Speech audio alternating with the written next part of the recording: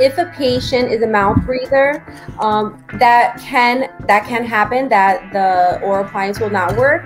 It's recommended maybe clean the nose out before going to the sleep lab, or try tape over the mouth or a chin strap. Um, these are things that will help to keep the mouth closed.